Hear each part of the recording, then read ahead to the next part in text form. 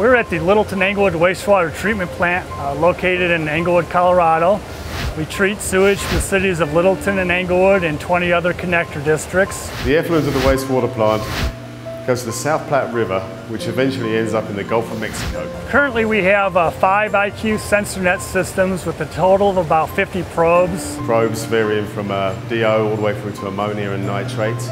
Our biggest use is in our aeration basins where we're monitoring uh, suspended solids, DO, ammonia, nitrate. We have an installation at our final effluent where we're also monitoring DO, ammonia, nitrate, conductivity, and temperature. I think it was about uh, 1999 or maybe 2000 that our existing DO probes uh, started malfunctioning.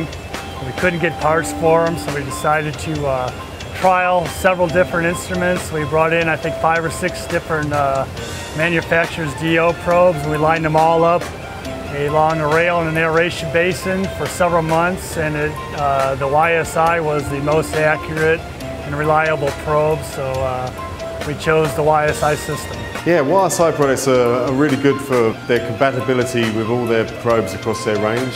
You can put 20 probes on one system. They plug and they play.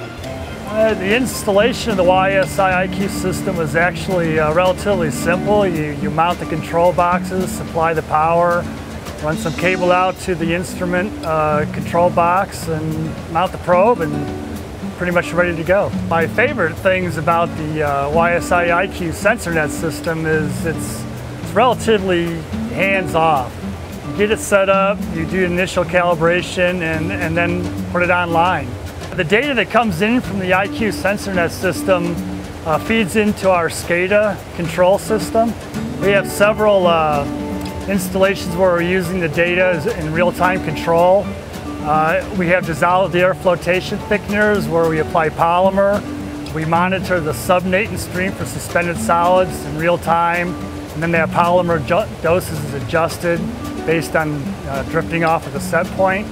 Uh, we're controlling dissolved oxygen in our aeration basins.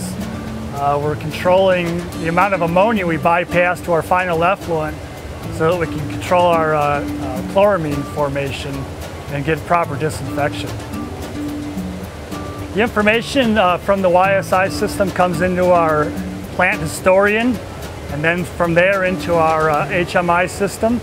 Some of the data is actually used for permit compliance. We have a temperature re reporting requirement in our permit, and that uh, information comes directly off a YSI DO probe. The IQ SensorNet system has uh, provided us the ability to increase our efficiency in several of our process areas.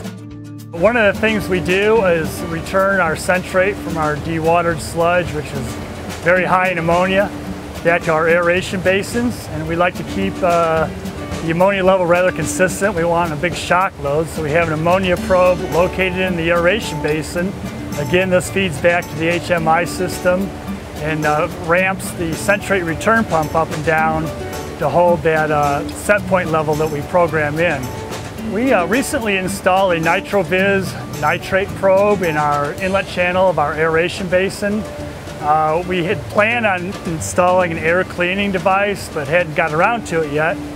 Uh, we inspected that instrument today, expecting uh, you know to be a lot of slime and maybe the eye was fouled, uh, but we were very surprised when we pulled it up after more than a week in service and the uh, the glass eyes were totally clean. The ultrasonic cleaning system that was provided with the probe works very well. YSI's ultrasonic cleaning system is the only product like that on the market. We've found it very good in nasty water environments. I haven't found that in uh, other systems.